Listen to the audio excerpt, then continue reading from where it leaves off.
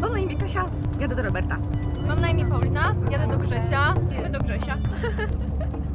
Do Rafała. Do Rafała. Spodziewam się, że na pewno dziewczyny, które przyjadą, to, to będzie wesoły autobus. W Rafale ujął mnie jego traktor. Tak, jadę do Rafała. Do Rafała. Jesteśmy we dwie do Rafała. Nie jestem typem e, dziewczyny blachary, ale ten traktor jest e, super. Nie mogę się doczekać takiego spotkania właśnie y, face to face. Tak, mam kwiaty do Ani.